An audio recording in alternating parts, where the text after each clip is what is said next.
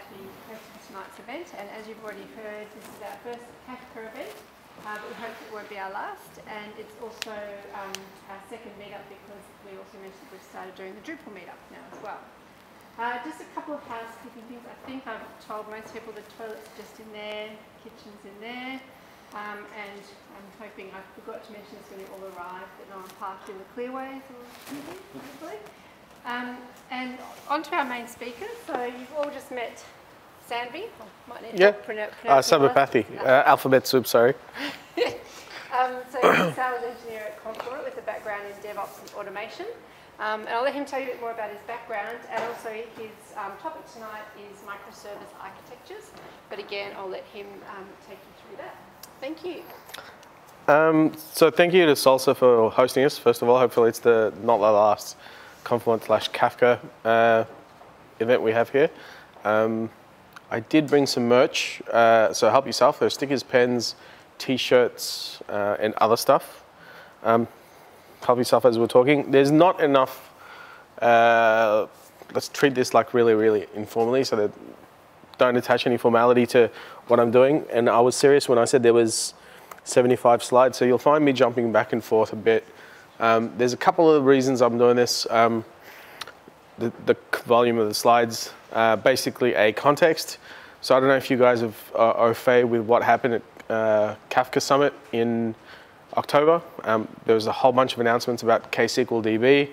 Um, to context set, I think we'll start with what Kafka was in the past before that, and then we'll talk about microservices and what KSQL DB is and what it's going towards. Um, it's very much in its infancy. Um, I might shorten the conversation and then we can have a Q&A session because um, there's enough of us to kind of engage in a conversation. And at the moment, you know, just to give me an idea, how many of you like have been using Kafka for more than a year? More than two years? Three? Okay. Well, this is the thing. Um, it's symptomatic of, of typically Australian adoption of technology. Um, we tend to I don't want to say laggards, but we tend to be laggards. But then we adopted such a, a rate that we tend to overtake some of the other countries. Um, you'll find like Japan tend to be early adopters, but really slow, like getting up the maturity curve.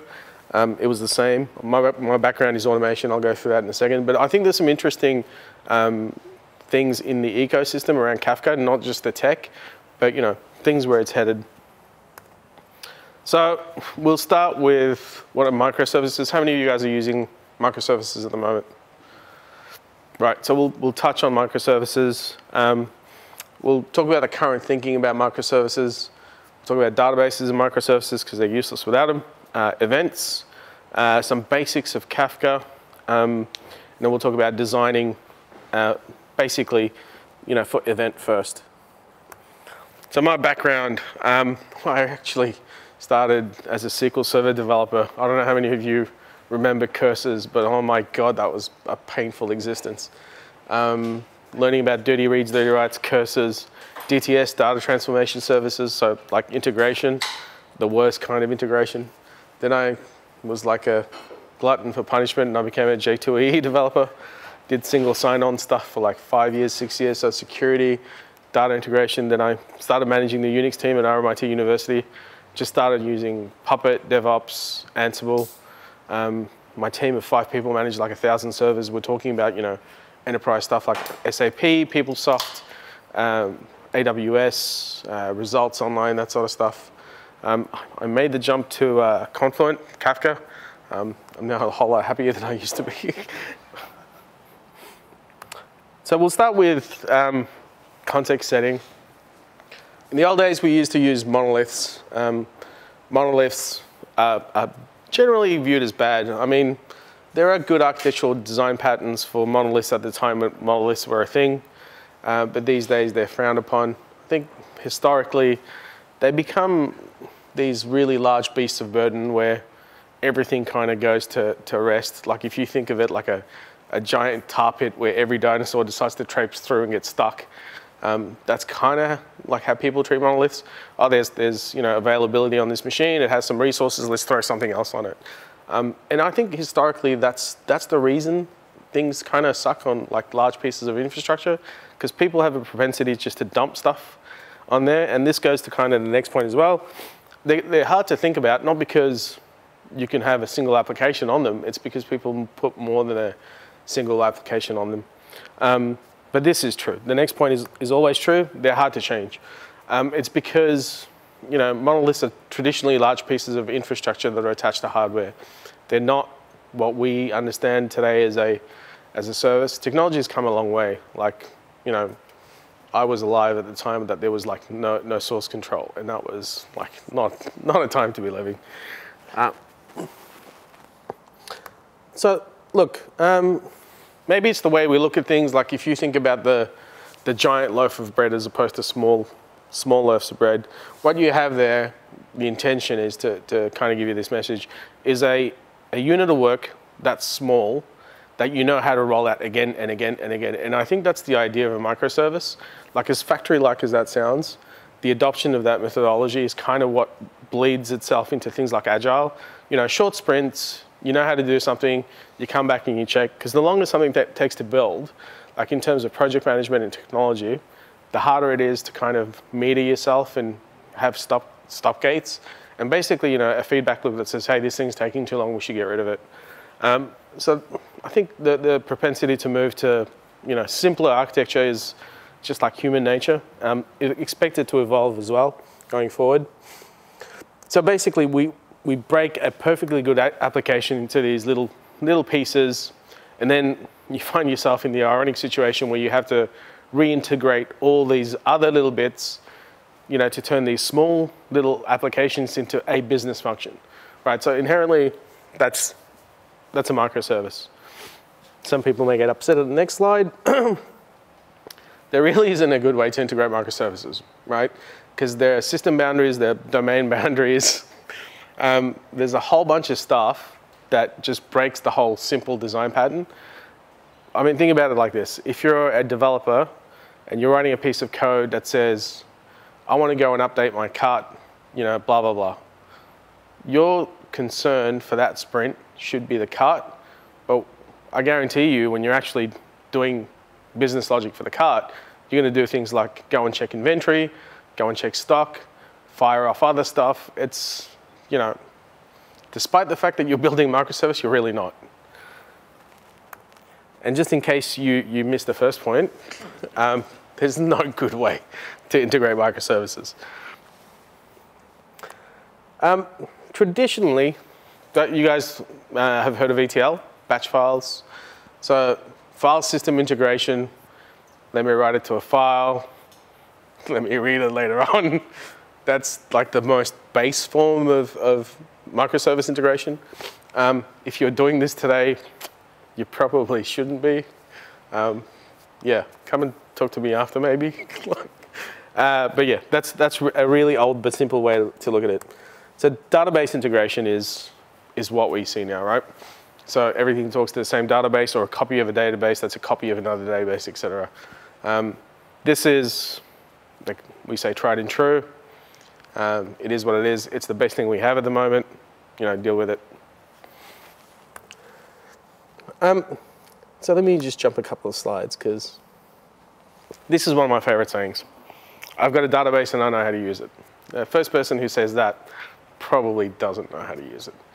Um, if you think about a da database, it's, so I'll throw a question out there. Who knows what like the main fault of a database is when you do, when you go and get data from something? Oh, you can guess there's no answer, wrong answer. I mean, what's, what's wrong with a database in terms of the data that's available to you when you go and get it at any given time? Hmm. There's no context. There, there is absolutely no context about how that data got in there. It's not a log, it's a materialized view of what is true at the time. Right? There's absolutely no business context to that, to that piece of data. And a lot of people are beginning to care about that more and more. So if you think Think about it like this.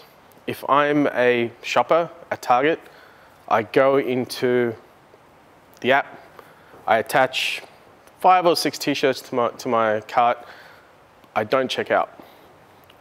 In terms of a database event, nothing's really happened because I haven't checked anything out. I've just added stuff to my cart. I haven't manipulated anything. data is data, right? There's no, there's no context. But think about this. The business has just lost five t-shirts, right? Where's that captured? The answer is it's not, and it never will be.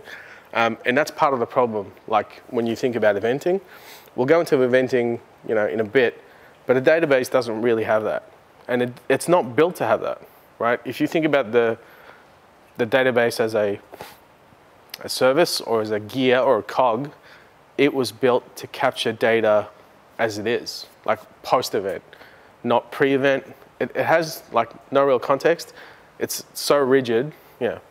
But yeah, anybody says that they know how to use the database is probably a liar. Um,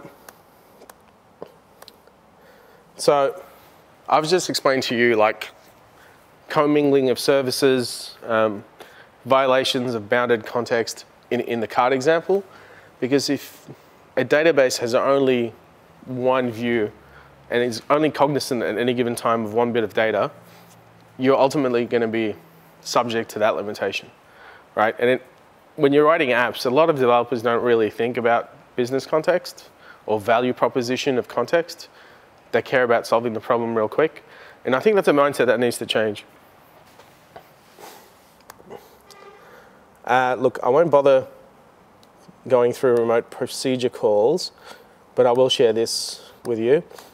Um, so RPCs um, are basically a bolt-on to a database to give you context. So if you think, you know, think of like an inner join between three or four different systems, which is basically an API call, right?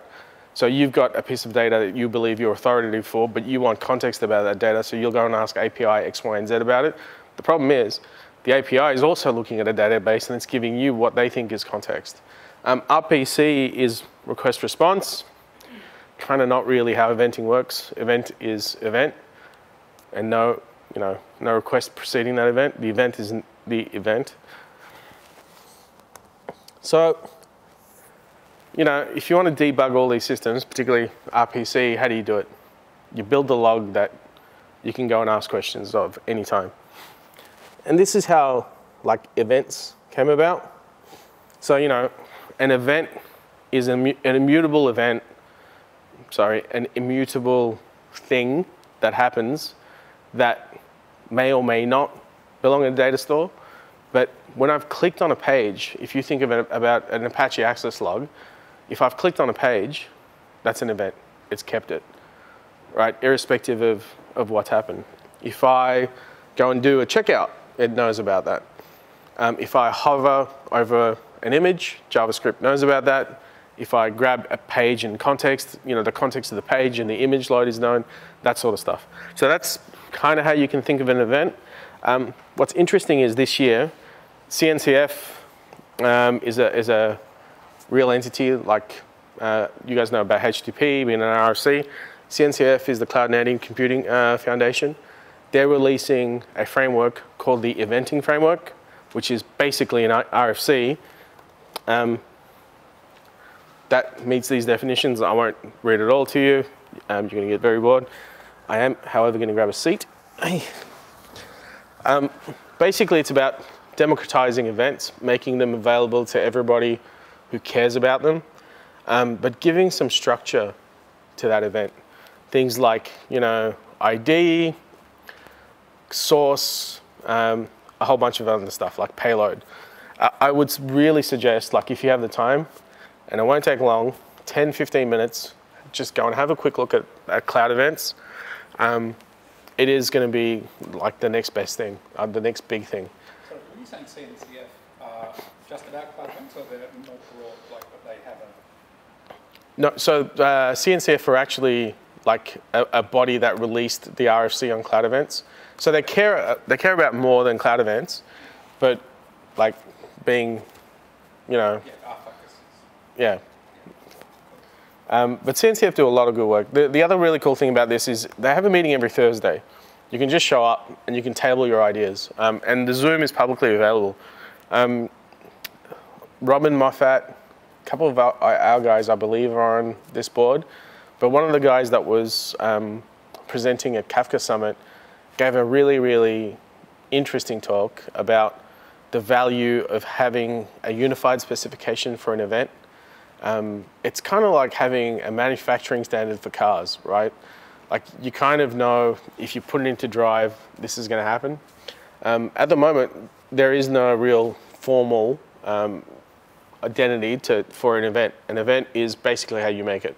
Um, are you guys aware of how Kafka works? All right, cool. M maybe what I'll do is we'll run through Kafka next, and then we'll talk about producers, consumers, and we'll come back to events. But eventing is, I believe, um, one of the things on our forefront that more and more organizations will be adopting. Right, um, so you know, just to kind of reiterate the point, this is more about context and evolution over time. That's why you should care about events. We've covered that. Um, so let's go into Kafka basics. Um, I'll run through this and then I'll run through maybe a microservices architecture and how it looks like with eventing and without eventing. Um, but first we'll run through this. So Kafka, uh, Confluent, the event streaming platform, is actually many different things. Um, there's three things that underlie Kafka. At its core, it's a continuous commit log. To the left of that, you have something that's called the Connect framework. And to the right of that, you have something that's called uh, streams, Kafka streams. Um, each of those are basically, you know, storage, pub sub, publish, subscribe at scale, and processing, as in processing the event as it happens, so you can do something with it. Like, all right, here's a very simple example. Um, a couple of customers of a, a uh, an organization that, let's say, does gambling, have apps that basically are contextually driven for streaming. And I'll go into the business why, uh, reasons why. You could be in a field at, let's say, Flemington, you could have a bad day at the races. So that's like you have three bad bets, you've lost X amount of money in X amount of time. Um, you know, most punters these days, if you look at their behavior, if you have a, a bad experience in an app, you just move to another app because it's really easy. Um, the idea is that you're sticky to a, or loyal to a, a particular provider of the gambling service. So if you have, you know, three bad bets, particular track, particular day, you'll get an offer pop up immediately. And that's like stream processing.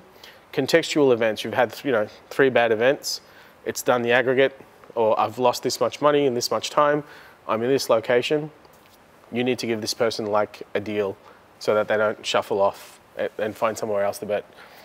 Um, so that's like the processing aspect. So core abstraction, we'll go through that in a minute. Um, Kafka is basically a giant log. Um, the log itself is a really, really, really simple idea. Uh, messages are added at the end of the log here. You see my, you can see my mouse, but it's tiny. Um, here. Uh, this is the history of the message. So at any given time, you can cycle through, through the events.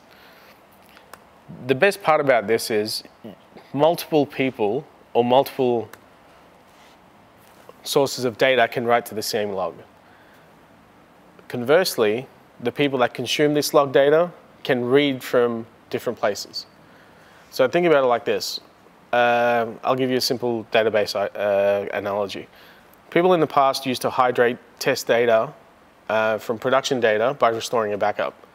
Imagine for a second you can point your database to two weeks in the past automatically and have that delta automatically managed because what you're doing is you're consuming from a point that's two weeks in the past as opposed to current. So this, it's a little bit of a different way of thinking. Um, it's called consumer offset. Basically what happens is you choose from which you, you where you ingest your data. Just to complicate things a little bit, each of these data streams is a unique stream within the data pipeline. So these are called topics. You can have 30 of these. A topic might be user ID. Uh, a topic might be user purchases. A topic may be user streams.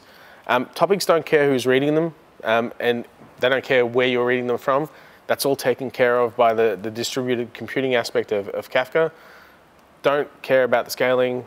Pretend it's, it's not your problem because it isn't. This thing's built to scale you know, producers and consumers can do their own thing. Inherently, what you need to understand about this is you're not bogged down on the point of this data lives here, I have to go and retrieve it and you know bring it back here. What happens is the broker goes and gets the data for whoever cares about data at point X, Y, and Z. And that's part of the, the, the appeal of Kafka. Remember though, access is only sequential, right? So you read to an offset and you scan. And to my point, natively Kafka is built for distributed computing. So you have consumers, you have producers. Um, the distributed consuming aspect basically means many brokers, many topics, many pieces of sharded data, no bottleneck. Now, we talked about Kafka Connect before. Um, to the left and to the uh, of Kafka sits this Connect API. Basically, what happens is um, there are two things, a data source and a data sink. Uh, imagine Salesforce for a second, and you want to get data out of Salesforce and into Kafka. That's called the source. If you want to get data from Kafka into uh, Salesforce, that's called the sink. Um, basically, the commit log itself is getting data via its connectors, which is the Connect API. And that's kind of what it looks like. So I'm sourcing data from Blue. Connect Framework is doing it. Think of it as a just very fancy Java API, putting that into Kafka, which is the long commit log of, of events. And then Kafka Connect says, okay, I need to ship this to another external data source for analytics, let's say, you know, Elk, uh, Elastic, or whatever it is you're using. Um, it'll dump it there. To the right of this is a stream processing engine the event I gave you before about people losing money, etc., that's a stream process. It's aware of you know artifacts that have happened within a time window. Um, on top of that, something called KSQL sits. Um, it is an engine for computation, basically like written to look like SQL, but it's not really. Um, it's basically a Java file. Um, that's what it looks like on top. That's kind of what it looks like underneath. It's just a simplified library to, to help you manipulate streams in flight. So now you've got kind of an idea of, of what Kafka is, like those three, three boxes. Um, maybe next time I'll do a, a full deeper dive, but this is intended to be very light. So in terms of microservices, we can do, you know, pretty much anything a data store can do, but plus, right? So if you think about the, the example I gave you before about the abandoned cart, a database will never give you that. A microservice may be able to, but contextually, um, in terms of you know getting a microservice to understand context, store previous state, that's a, a very hard problem for a developer to solve. Whereas with uh, Kafka, the event of leaving the cart itself can be embedded into a business context event saying, customer's just left five things in his cart and he's logged off. You may want to address this.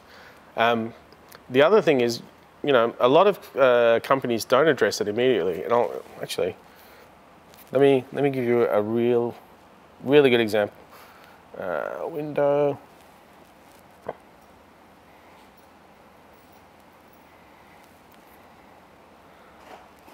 Ignore the fact that it says roadmap. Right, so this is like a really, really smart abandoned cart from Uber. I fly to New Zealand pretty regularly, like once, once a month, let's say, uh, uh, most frequently. Um, I never take an Uber from the airport to go to my hotel, ever. Um, I basically just jump into a taxi because they're right there outside. It's a little bit more expensive, but whatever. Last week, um, I came back to New Zealand Airport, Auckland Airport, uh, via Uber as I sit down, I get a notification from my phone that says, here's 20% off your next airport trip from New Zealand, as in only from the airport to your hotel. So not only have they realized, A, I'm not using their service, they've identified missed business op opportunity that they didn't know that they were missing before. And C, their you know, rewards team have just jumped onto an op for like pretty much minimal effort they've given somebody the ability to cannibalize somebody else's business. Now, every business who does this will eventually end up beating their competition. But this is fiendishly clever, like unbelievably fiendish. but I thought it was really good. Like when I sat down, I'm like, that's yeah, that's pretty clever. So that's a case of like analytics based on my two previous trips, context, and reacting to the current event, which is me getting out the Uber at the airport to kind of confirm their suspicion. Um, but yeah, I thought I thought that was like a pretty powerful use case. Like so good that I thought I'd make a slide out of it. Um, so let's go back to microservices.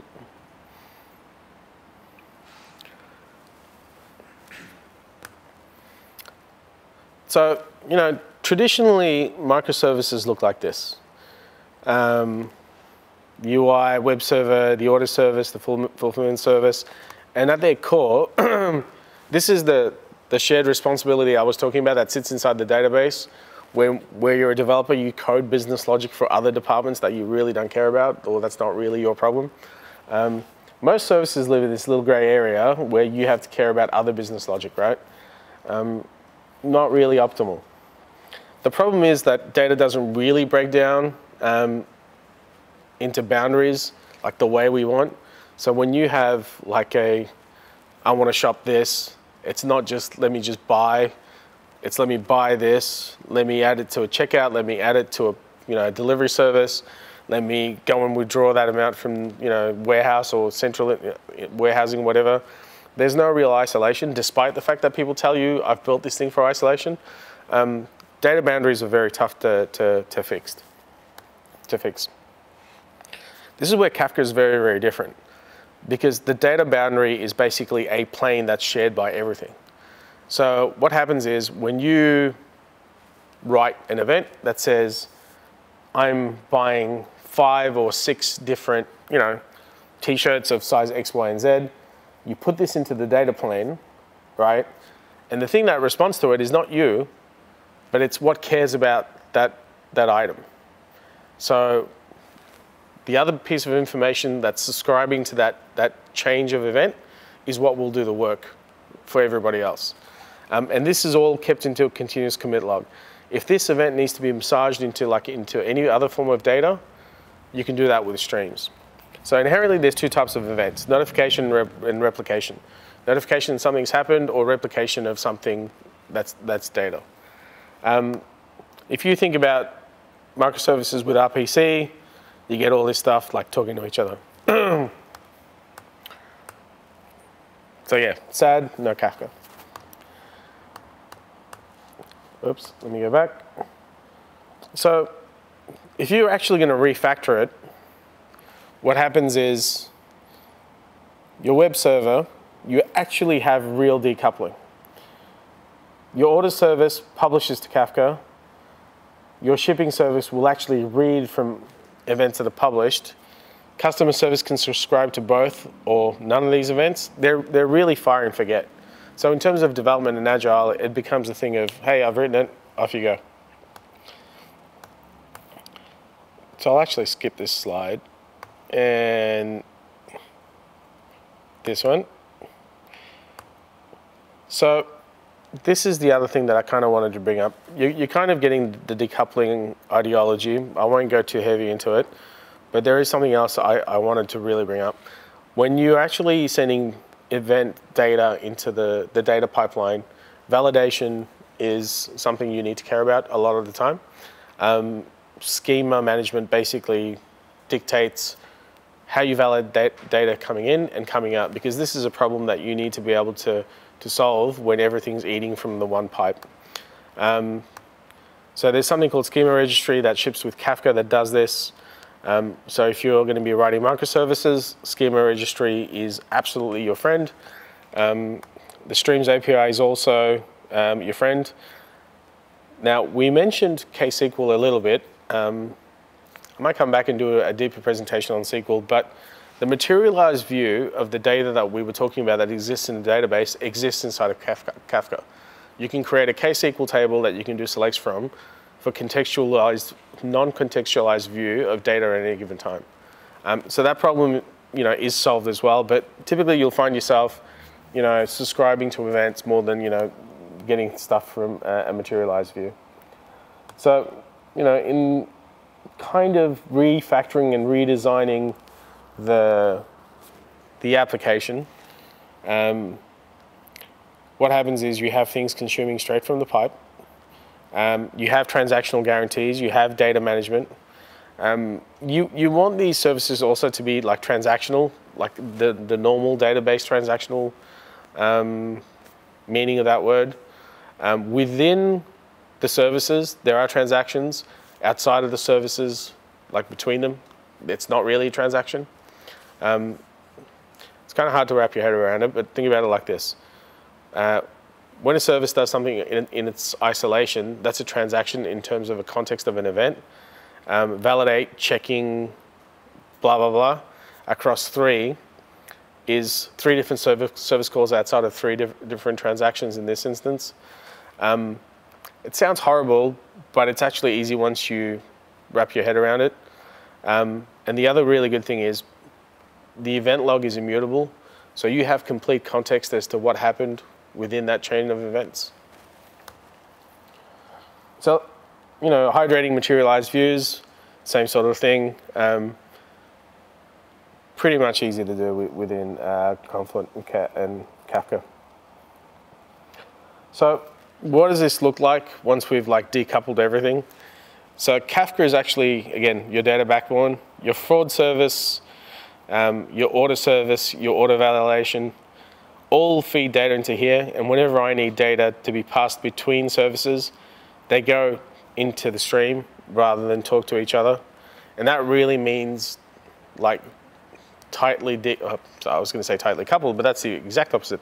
Um, real decoupling. Um, if you want to find examples of this, this is like peeling back the onion. I know it's a terrible thing. I couldn't find like peeling onions. Um, what's the purpose of a database in context to this? What's the purpose of SQL in context to this? What does the tabular model mean? like think about what we've just done. You don't need to care about indexes. You don't need to care, well, you kind of need, to care about schemas. Um, you don't need to care about how you retrieve data. All you're doing is pushing events into a stream. It's completely abstracted to you what the database is, what performance is, you know. Just out of curiosity, when was the last time you guys wrote a stored procedure? Any of you? Or a function in database? not ages ago. So you, you, guys remember those days when people used to have to do that for performance reasons? Um, these days, like MongoDB, like NoSQL is, is still a thing, like, but you still need to be aware of like relational models to some degree. In this instance, you don't. The schema will enforce your conversation with everybody else. You just need to adhere to the schema, which is a standard. It's like when everybody speaks English, there are general words that everybody understands that's like the schema. Um, I don't really care how you store your information, and you shouldn't care how I store mine. And that's what makes the tabular model unique. Um, Kafka's a big giant storage engine, big giant commit log. Um, so finally, you know, when you're writing microservices, think about abstraction of data in true sense of the word. Um, the point of today wasn't really to kind of talk to the future of microservices, but how you should be writing microservices for an event-driven world. So I guess the title was a bit of a misleading title, but it's okay. Well, I can fix it next time. Um, so just remember, you're never writing just microservices if you're using eventing. You're actually writing like an inside-out database because you're publishing data, but not really. Um, and that's like a really good thing because I think you know this is the future more or less. Um, because you get all the benefits of microservices, small apps that are really not tightly coupled to anything. And despite the fact that people say, hey, my microservices are not coupled, well, it kind of is because you're using a data model that everybody else is, is forcing you to adhere to. Um, so if you're curious, go and have a look at, at Conway's law, um, and you'll kind of understand the benefits of a, a streaming platform but I believe I've talked your ears off. Um, that's my uh, email address if you've got questions. Uh, we run meetups fairly often uh, in Melbourne. We'll definitely be back at Salsa, so thank you again for hosting us. That was really good. Um, there's blogs. Um, we also have a Slack channel. Um, if you're interested, we have a lot of material where you can learn stuff just for free. Um, the KSQL stuff is now out, I believe. Um, just go and grab it. Cool. Thank you for your uh, attention. Free swag on the table. Take it seriously. Thank you. Uh, we can go through questions if you like, probably a good time to stop recording, I would say.